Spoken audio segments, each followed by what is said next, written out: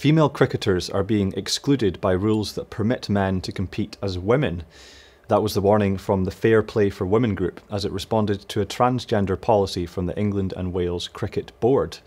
The ECB said it is looking at alternative rules which require some male born transgender cricketers to lower their testosterone levels. But the organisation said it was unlikely to make any unilateral changes and was proud of its current stance. Fair Play for Women, which defends sex based rights for women, said the rules show utter contempt for female cricket competitions. If you were born male, you can't play female sport. It is as simple as that.